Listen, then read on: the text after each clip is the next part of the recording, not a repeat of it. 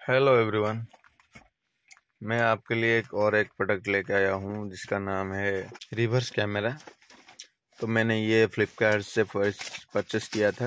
Unboxing करते हैं।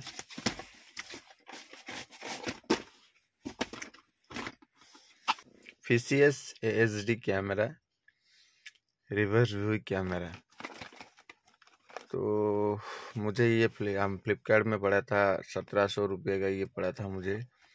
कैसा है इसका रिव्यू कैसा है उसका प्रोडक्ट देखा नहीं लगा कर आपको दिखाएँगे। तो इसका अनबॉक्सिंग पहले कर देते हैं। फ़र्स्ट कीड आता है उसमें। आपका ये क्या पूरा खुल गया?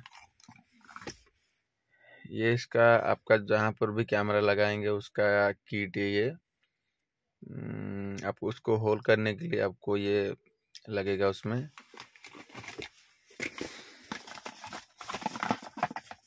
दूसरा ये पावर केबल इसका ये पावर केबल है।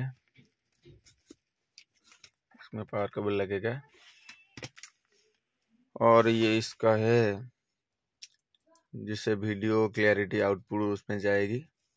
तो यहाँ से आपको पूरा पीछे तक ये वायर जाएगी। बहुत लंबा, बड़ा है, ये लंबा है, बहुत।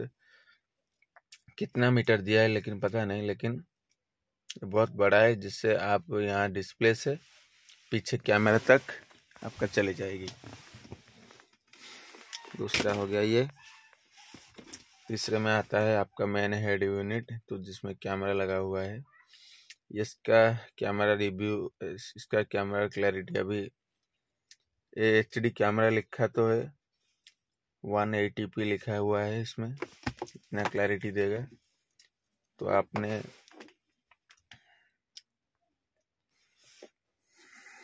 तो इसमें लगेगा ये वाला जो आपका वीडियो आउटपुट का जो एक सर्किट है, ये वाला में एक ही लगेगा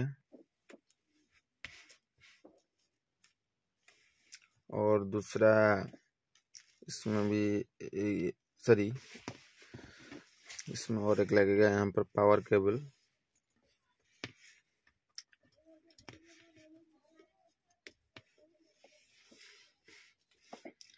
एक हाथ से काम करना थोड़ा दिक्कत हो रहा है।